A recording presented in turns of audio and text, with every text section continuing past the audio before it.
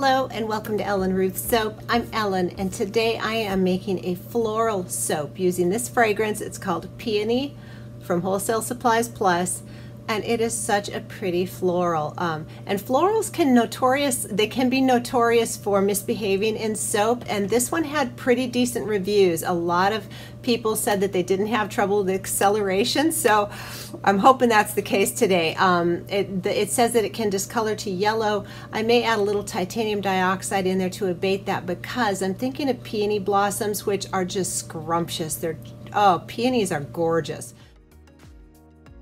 uh, for the colors. So I'm getting segued off on how pretty peonies are. Um, I want to use this uh, French silk stocking mica because it is such a gentle, pretty blush color. Um, and so that will be my only color swirl in there and I want to pipe some flowers on top using my Wilton 1M tip um, and just load the top up with rosettes and oh man, just beautiful floral. I think of like, you know, summer wedding or it just, they're beautiful. Anyway, that's what I'm doing today with the fragrance. This is going to be a goat milk soap and I will do the milk and oil method. I'm going to get everything pulled together, get my piping bag set up, and uh, let's make some really beautiful floral peony inspired soap. It's time to add the additives to my oils here and butters. This has cocoa butter and shea butter and oh, it's such goodness. And I'm making kind of a big batch here today um, because I am going to do some piping on top.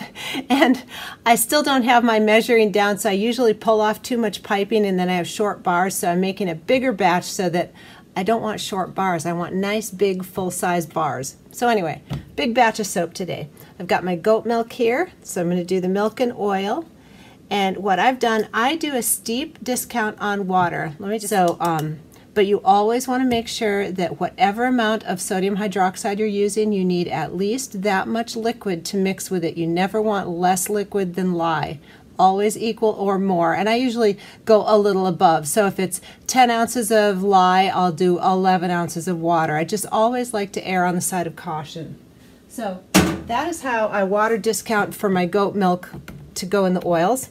All that being said, here are my dry ingredients, kaolin clay, and my colloidal oats. And let me tell you, I um, after I did the intro and I was getting all my stuff out and getting ready to roll here, I went back and looked because I know I've worked with this fragrance before and looked at the reviews and um, a lot of the reviewers said that the scent faded and last year I made this soap or very similar to this soap and I added a little um, peach, sugared peach fragrance to the peonies because the peony fragrance does have a little fruit back note in it, in it. So that's what I did today. I have my peony fragrance and a little bit of peach fragrance in here to hopefully give it a little staying power um, because a lot of the reviewers complained that after the um, cure time, the fragrance had faded.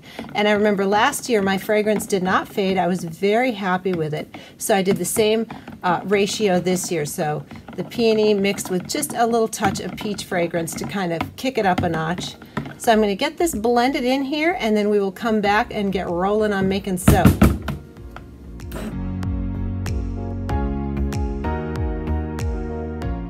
Right, I'm ready to add the lye solution in here. First, I want to just show you real quick the uh, piping tips.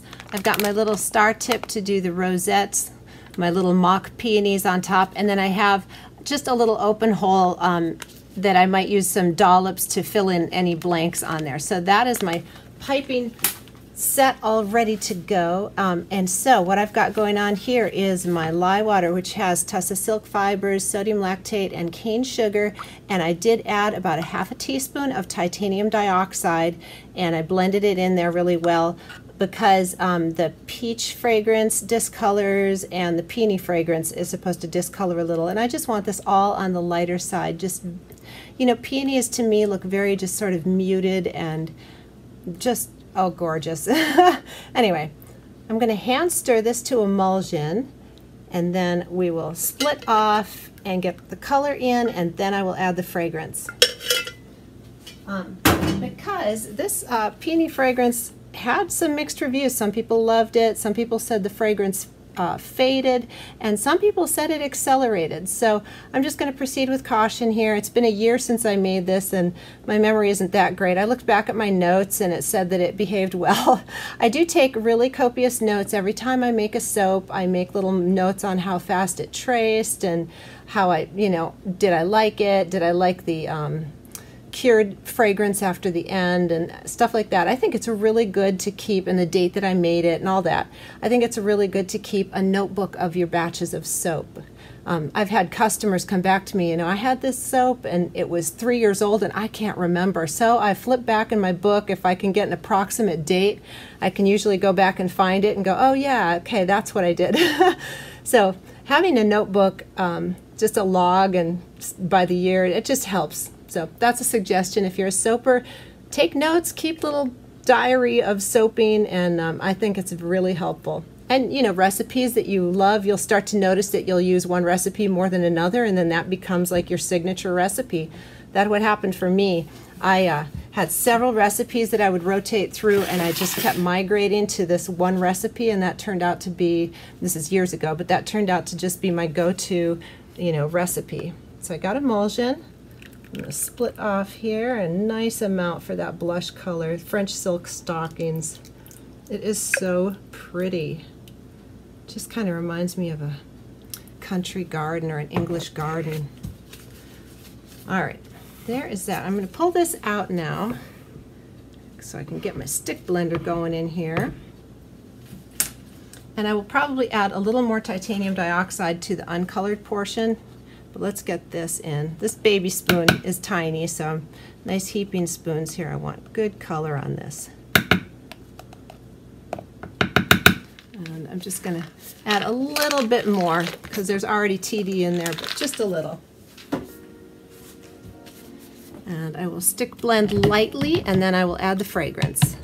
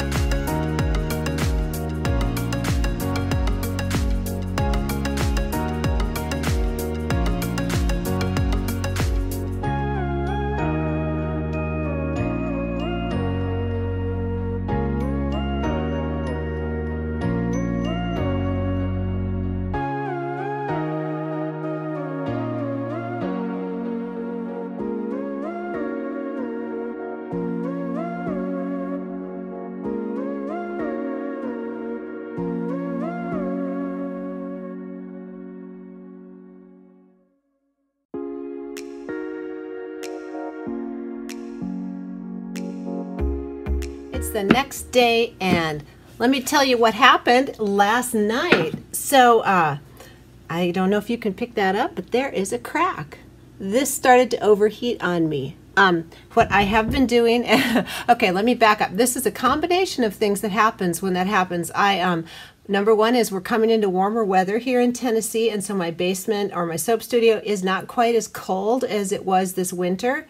So the blanket that I put over was probably too aggressive. Also, some fragrances um, can just heat more than others. So anyway, I got a crack, and I'm glad I came down and spotted that. So I quick threw it in the ref, uh, not the ref, yeah, I threw it in the refrigerator overnight and stopped. So I'm hoping it completed the gel phase, but there is let me see. Uh, can you see the crack?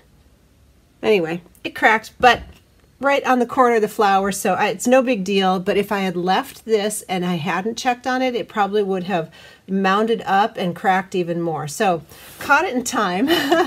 but that's, you know, even for, you know, an experienced soaper, you just, things happen. So I'm glad I checked on it. Let's get in here and see how that turned out. By the way, isn't that blush color, that French silk stockings. Isn't that gorgeous? Love it. So it smells good today. Smelling really good in here. I think that little bit of peach added in here, that sugary, it's just, I'm calling this sugared peony. And I just think it's fabulous. So anxious to see that hanger swirl. Let's get in here.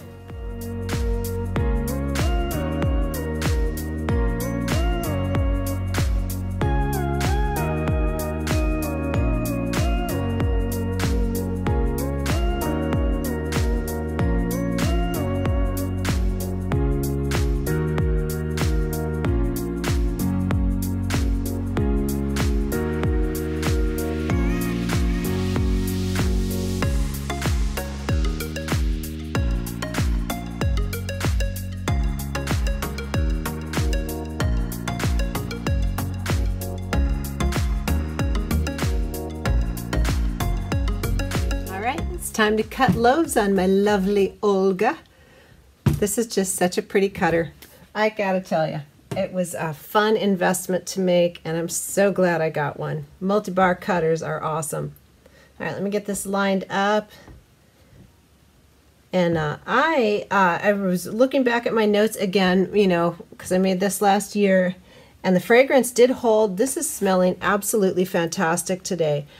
So I think that that peony fragrance, if you put a little anchor in there, um, it's going to be fine, just personally. Ooh, these swirls. Okay. Let's, oh, they stick together a little bit. There we go. Still a little bit of a learning curve. All right, I'm loving the top and just that little bit of glitter makes it look sugared or frosted, if you will. And let's see here. Oh, I've got a titanium dioxide dot. Kind of looks like eyeballs. That's hilarious. Okay, I need to mix my TD better. This was probably from the TD that I put in the lye water.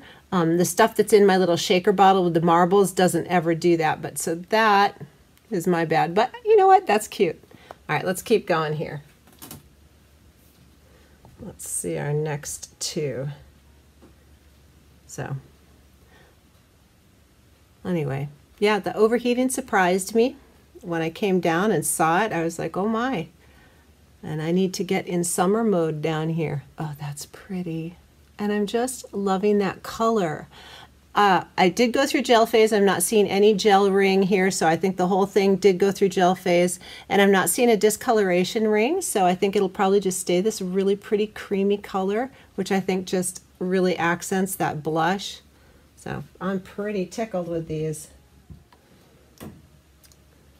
So I tend to um, not migrate towards florals, but I've had several customers ask me for florals, which is why I um, went ahead and got this. And I'm glad I did. Oh, these are beautiful. And this is evoking very, like, really spring gardens, just beautiful.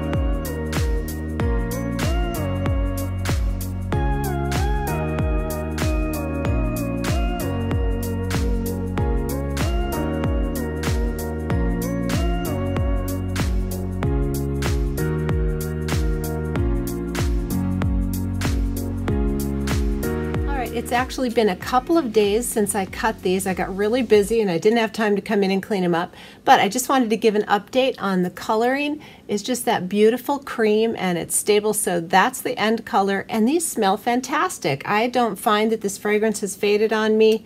Uh, maybe it was the addition of the sugared peach in there. They smell fabulous, so I'm very, very pleased with these. And uh, so I'm coming into this a little late, but here we go. I'm just going to get these cleaned and stamped up. And I hope you guys have a wonderful, wonderful day.